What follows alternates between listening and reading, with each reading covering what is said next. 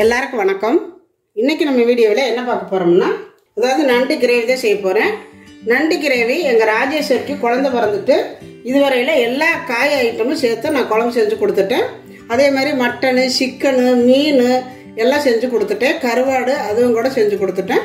நண்டு தான் எனக்கு செஞ்சு கொடுக்கல. குழந்த பிறந்தப்போ எல்லாமே நம்ம எல்லாமே சேர்த்துக்கணும்.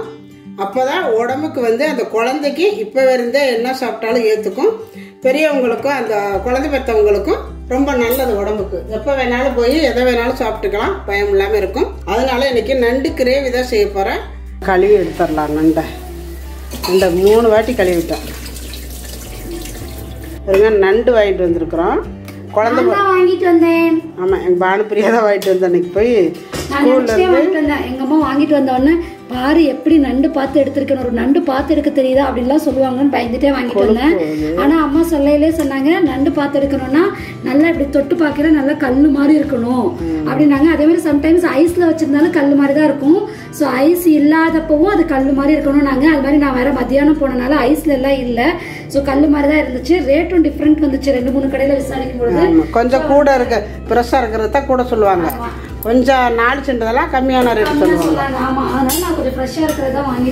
பரவாயில்ல ஸ்கூலுக்கு போயிட்டு மத்தியானம் வரும்பொழுது தான் நண்டு வாங்கிட்டு வந்துட்டா எங்கள் ராஜேஸ்வரி அதாவது குழந்தை பிறந்தவங்களுக்கு நண்டு கொடுக்கணும். ஒரு நாளைக்காவது சேர்க்கணும். இல்லை அதனால இன்னைக்கு நண்டு வறுவல் தான் செய்ய போகிறேன் இப்போ நல்லா ஒரு ரெண்டு மூணு வாட்டி கழுவிட்டேன்.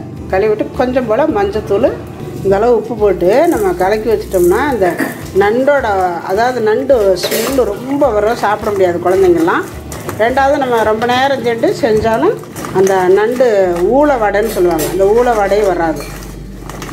கிரேவியாக இருந்தாலும் சரி குழம்பாக இருந்தாலும் சரி வறுவலாக இருந்தாலும் சரி இந்த மாதிரி நம்ம கலக்கி வச்சுட்டு கொஞ்சம் நேரம் சென்று செஞ்சோம்னா நல்லாயிருக்கும். அது இருக்கட்டும். நம்ம வந்து கிரேவி செய்கிறதுக்கு ஃபஸ்ட்டு ஒரு மசாலா அரைக்கணும். ஒரு ஒன்றரை ஸ்பூனு மிளகாத்தூள். நம்ம ஏற்கனவே மஞ்சத்தூள் போட்டிருக்கிறோம் நண்டில் இப்போ கொஞ்சம் போல் மஞ்சத்தூள் மல்லித்தூள் சின்ன ஸ்பூனால் மூணு ஸ்பூனு. இதில் ஒரு ரெண்டு ஸ்பூன் அளவு எண்ணெய் சேர்த்துக்கோங்க. நல்லா ஒரு கலக்கு கலக்கி விட்டுக்கோங்க. இந்த ஏன் அப்படி செய்கிறேன்னா நீங்கள் கண்டிப்பாக ஒரு முறை இது மாதிரி செஞ்சு பாருங்கள் அந்த குழம்பு வந்து குழம்பா இருந்தாலும் சரி கிரேவியாக இருந்தாலும் சரி நண்டுக்கு ரொம்ப நல்லா இருக்கும்.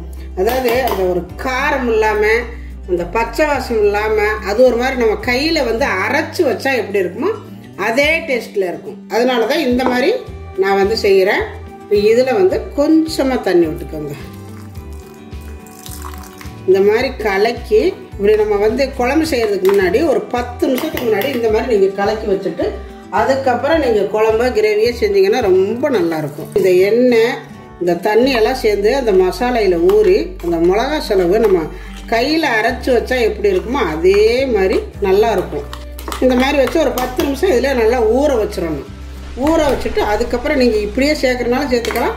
இல்லைன்னா மிக்சியில் போட்டு ஒரு அடி அடிக்கிறனாலும் அடிச்சுக்கலாம்.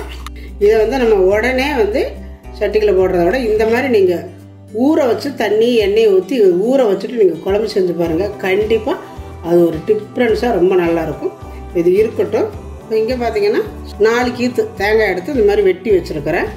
ஒன்றரை ஸ்பூனு சீரகம் ஒன்றரை ஸ்பூனு சோம்பு குருமிளகு ஒன்றரை ஸ்பூனு. இது எல்லாத்தையும் சேர்த்து நல்லா நைஸாக நம்ம அரைச்சிக்கலாம். பார்த்தீங்கன்னா நல்லா நைஸாக அரைச்சிட்டு வந்துட்டேன். இது இருக்கட்டும். இங்கே பாத்திரம் வச்சு சட்டி காஞ்சிட்டு இருக்குது. கொஞ்சம் போல் நல்லெண்ணெய் ஊற்றிக்கலாம் நல்லெண்ணெய் ஊற்றி செஞ்சு கொடுத்தா குழந்தை பிறந்தவங்களுக்கு ரொம்ப ரொம்ப நல்லது. இப்போ பார்த்தீங்கன்னா எண்ணெய் காஞ்சிருச்சு. எண்ணெய் காஞ்சது கொஞ்சம் போல் சோம்பு ஏலக்காய் கல்பாசி கிராம்பு. அதுவும் சேர்த்துக்கலாம். ரெண்டு மூணு வெந்தயம். கொஞ்சம் போல் குருமிளகு குருமிளகு கம்மியாக சேர்த்துக்கோங்க. நம்ம ஏன்னா வச்சு அரைச்சிருக்கிறோம். அதனால் கொஞ்சம் கம்மியாகவே சேர்த்துக்கலாம். சின்ன வெங்காயம் கொஞ்சம் போல் கட் பண்ணி வச்சுருக்கிறேன். பெரிய வெங்காயம் ஒரு வெங்காயம் கட் பண்ணி வச்சுருக்கிறேன். இதெல்லாம் நல்லா பொரிஞ்சது கொஞ்சம் போல் கருவேப்பில்லை வெட்டி வச்சுருக்கிற வெங்காயம். நல்லா கொஞ்சம் நல்லெண்ணெய் தாராளமாக ஊற்றிக்கோங்க இதுக்கு வந்து ரொம்ப நல்லாயிருக்கும் ரெண்டாவது வந்து நம்ம வந்து குழந்த பிறந்தவங்களுக்கு செஞ்சு கொடுக்கும் பொழுது கொஞ்சம் எண்ணெய் நல்லெண்ணெய் ஊற்றி செஞ்சு கொடுத்தீங்கன்னா ரெண்டாவது நண்டு கொஞ்சம் சூடு. அதனால் நான் வந்து நல்லெண்ணெய் சேர்த்து கொஞ்சம் கூடவே சேர்த்து செஞ்சுருக்கிறேன். நீங்கள் வேணும்னா எண்ணெய் கூட கொஞ்சம் குறைச்சிக்கலாம் வேண்டாம். இப்போ பாதி வெங்காயம் வெந்துருச்சு. ஒரு ஸ்பூனு இஞ்சி பூண்டு பேஸ்ட்டு இதையும் வந்து நல்லா இந்த எண்ணெய்க்குள்ளே வேக விடணும். இப்போ வெங்காயம் இஞ்சி பூண்டெல்லாம் நல்லா வெந்துருச்சு. பாருங்கள் நல்லா செவந்து வந்துருச்சு. பழுத்த தக்காளியை ஒரு நாலு தக்காளி எடுத்து நான் கட் பண்ணி வச்சுருக்கிறேன். ஒன்றரை கிலோ நண்டு வாங்கியிருக்கனால நாலு பழம் பழுத்த பழமாக நறுக்கி வச்சுருக்கிறேன். இப்போ அதையும் சேர்த்துக்கலாம்.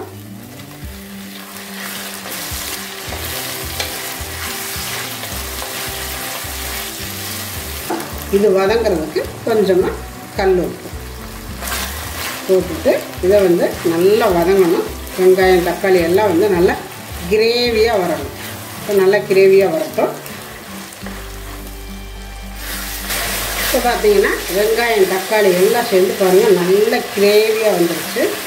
இப்போ மிளகா செலவெல்லாம் சேர்த்து ஊற வச்சுருந்தேன் ஊற வச்சுட்டு இதை வந்து மிக்சியில் போட்டு ஒரு சுற்று விட்டுருக்குறேன். இதையும் சேர்த்து நல்லா வதக்கிக்கலாம்.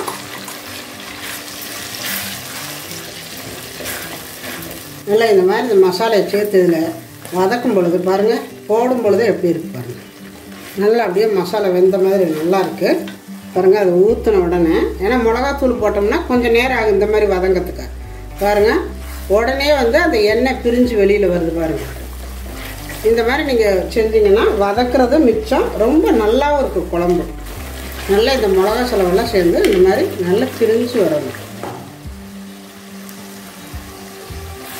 இப்போ இந்த மாதிரி நல்லா மிளகா செலவெல்லாம் நல்லா அந்த மாதிரி நல்லா எண்ணெய் பிரிஞ்சு வர்ற அளவுக்கு வெந்ததுக்கப்புறம் நம்ம மஞ்சத்தூள் உப்பு போட்டு வச்சுருக்கிற இந்த நண்டு. இப்போ நண்டு இதில் சேர்த்துக்கலாம். சேர்த்துட்டு இந்த மசாலையில் நல்லா பிரட்டி விடணும்.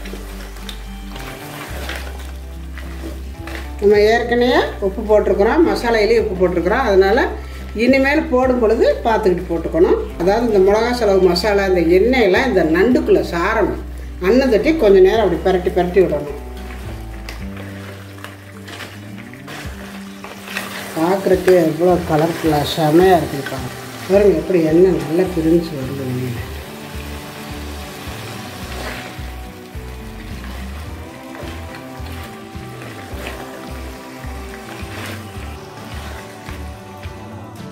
இப்போ இந்த கிரேவியில் நண்டு நல்லா வெந்துருச்சு.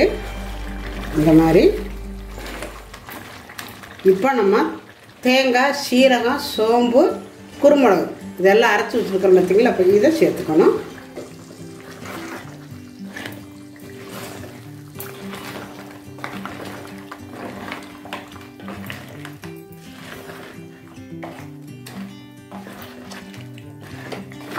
இந்த மாதிரி நல்லா புரட்டி விட்டுட்டு இப்போ இதில் கொஞ்சம் போல் மிச்சி சாரெல்லாம் கழுவி தண்ணி விட்டுக்கலாம்.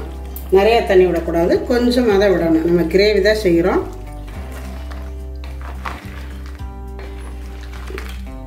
செமையாக இருக்குது. இப்போவே ஒரு அஞ்சு நிமிஷம் இப்படியே நம்ம மூடி வச்சிடலாம். நல்லா கொதிச்சு வேகட்டும். இப்போ நண்டு கிரேவி ரெடி ஆயிருச்சு. நல்லா அந்த தண்ணியெல்லாம் வச்சுட்டு நல்லா அளவாக கிரேவியாக இருக்குது. கொஞ்சம் போல் கொத்தமல்லி தலை தூவி இறக்கிக்கலாம். பாருங்கள் நண்டு கிரேவி எவ்வளோ சூப்பராக வந்திருக்குது. நல்ல வாசமாக அவ்வளோ நல்லா இருக்குது நல்ல கிரேவி நல்லா பெரட்டினாப்புல இந்த மாதிரி இருக்கணும் நண்டு கிரேவி. ரொம்ப நல்லா இருக்கும். இது வந்து சாப்பாட்டுக்கு மட்டும் இல்லை நம்ம வந்து இட்லி தோசை சப்பாத்தி எதுக்கு வேணாலும் வச்சுக்கலாம். நான் இன்றைக்கி வந்து சாப்பாட்டுக்கு தான் செஞ்சுருக்கிறேன். பாருங்கள் இப்படி தான் இருக்கணும் நண்டு கிரேவினா. இப்போ நண்டு கிரேவி. ரெடி ஆயிடுச்சு இதை வந்து நம்ம சாதத்தில் போட்டு பரட்டி சாப்பிட்டா எப்படி இருக்குன்னு நினச்சி பாருங்கள் நினச்சி பார்க்கையிலே நாக்கில் எச்சி ஊறும்.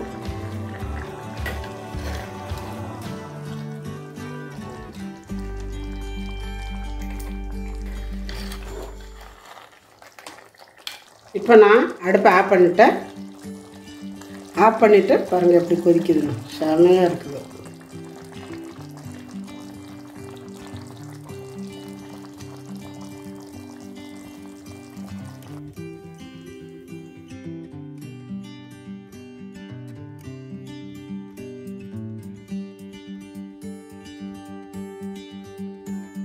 இப்போ அடுப்பை ஆஃப் பண்ணி. பத்து நிமிஷம் ஆயிடுச்சு பாருங்கள் அதுக்குள்ளேயும் அந்த கிரேவி எவ்வளோ இருந்தது பார்த்தீங்களா கொஞ்சம் கூட இல்லை பாருங்கள் கொஞ்சம் கூட இல்லாமல் நல்லா வர வரன்னு ஆயிடுச்சு இப்போ நான் சாப்பிட போகிறேன்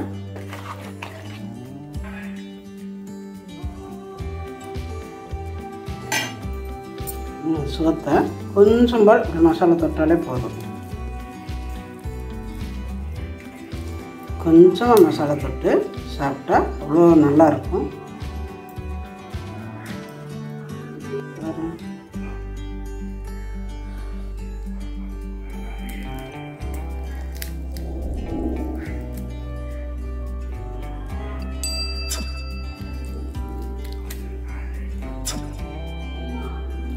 இப்போ குழந்த பிறந்தவங்களுக்கு நண்டு கிரேவி எப்படி செய்யணும் அப்படிங்கிறத நான் உங்களுக்கு சொல்லியிருக்கிறேன். கொஞ்சோண்டு சூடான சாதத்தில் சும்மா ஒரு ஸ்பூன் போட்டு போட்டு சாப்பிட்டாலே போதும். அவ்வளோ நல்லா இருக்குங்க. இட்லி தோசை புரோட்டா சப்பாத்தி நீங்கள் எதுக்கு வேணாலும் வச்சு சாப்பிட்டு பாருங்கள் ரொம்ப நல்லா இருக்கும். அந்த நண்டு எடுத்து சாப்பிட்றதுக்கு அவ்வளோ அருமையாக இருக்கும். உங்கள் வீட்லேயே நண்டு வாங்கினா ஒரு முறை இது மாதிரி செஞ்சு பாருங்கள் உங்களுக்கு அந்த டேஸ்ட்டு எப்படி இருக்குது அப்படிங்கிறத எனக்கு கமெண்ட்டில் சொல்லுங்கள் இந்த வீடியோ பிடிச்சிருந்தா லைக் பண்ணுங்கள் ஷேர் பண்ணுங்கள் செட்நாட்டு சமையலுக்கு சப்ஸ்கிரைப் பண்ணுங்கள் நன்றி. வாழ்க வளமுடன்.